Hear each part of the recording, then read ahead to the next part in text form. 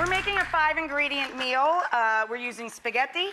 Uh, when you cook pasta, it is essential that you season the water. It is the only chance you get to season the pasta itself. As my friend uh, Mario Batali says, the water should taste like the sea. So a lot of salt goes into the water.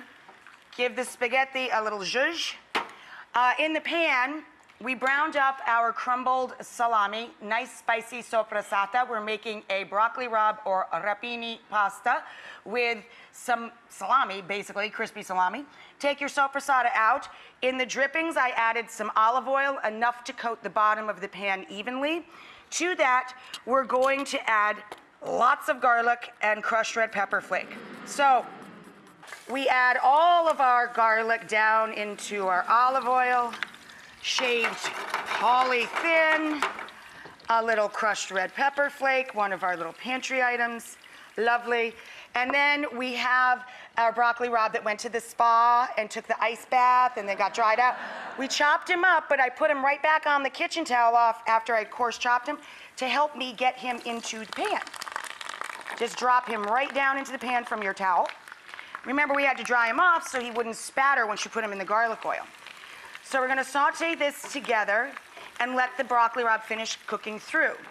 So remember, we put it in the hot water bath or the hot tub so we could cook out the bitterness. This is delicious. We're working on the finish, the big finale of our five ingredient pasta supper.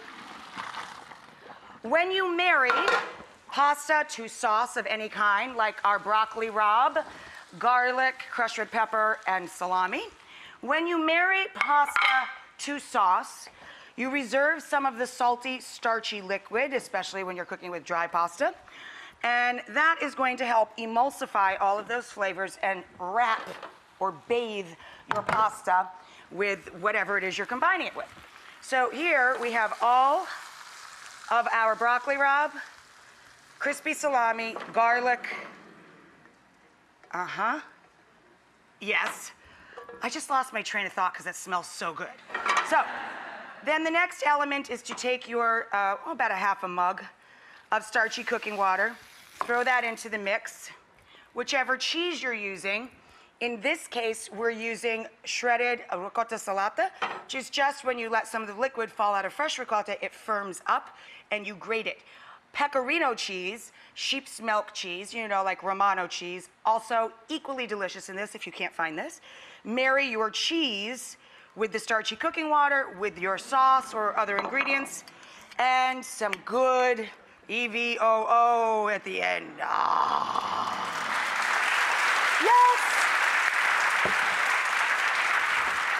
Now, you combine this all together, it is essential when you're cooking to drain the pasta one minute shy of the suggested cooking time on the package.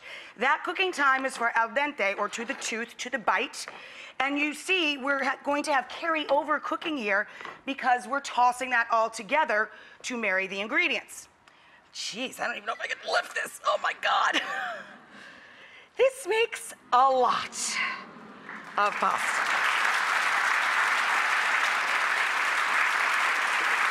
Now, whoo, that's heavy. Now, I told you we're gonna finish this dish with our fifth ingredient, which is sweet basil, to balance out the spicy sausage in the dish and the crushed red pepper flakes and the bitter greens, yada, yada, yada. When you bring home basil from the grocery store, it does not like the cold. Like tomatoes, you should keep it, it's, it's buddy tomatoes. Keep both of them at room temperature on your counter. Change the water every couple of days, just as if you were dealing with fresh flowers. Oh, it smells fabulous. Anyway, um, in my family, another thing we usually don't do is put a knife on basil because it bruises it. But it is very pretty if you're serving company to pile the leaves together and chiffonade them, roll them into a log, and then shred them with your knife, keeping the tip of the knife on the cutting board, and it turns it into beautiful basil confetti. Ooh.